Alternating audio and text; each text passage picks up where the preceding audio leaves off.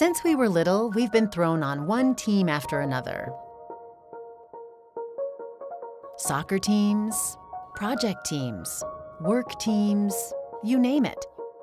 And even though we have lots of experience being on teams, the only advice we've ever been given about how to be a good teammate is to play nice and everything will work out. But what if it doesn't? What if people spend more time politicking and posturing? What if people can't agree on which direction to take, so they go nowhere?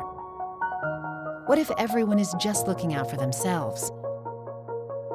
Turns out, there's more to good teamwork than just playing nice.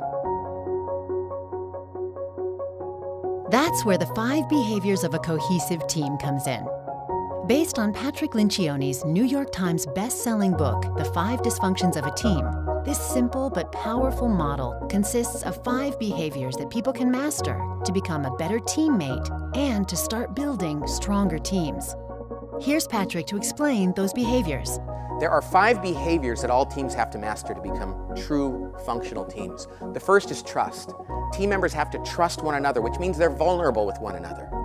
Vulnerability, which I think is one of the most important characteristics any human being can embrace in life, is nothing but admitting who you are as a person. It means they're capable of being completely honest and human with one another. That's important because it enables them to embrace the second behavior, which is conflict. Yes, conflict. When people are vulnerable and trustworthy with one another, they'll engage in conflict without fear. They'll debate issues and they'll be totally upfront with one another.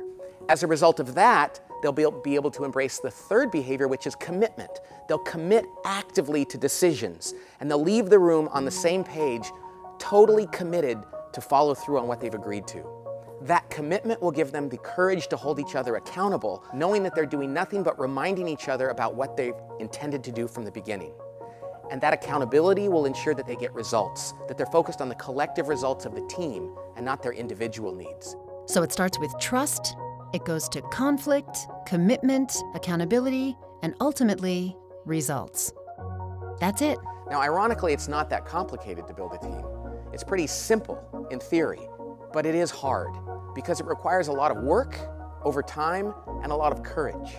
But it's worth it because the benefits of a great team are truly extraordinary.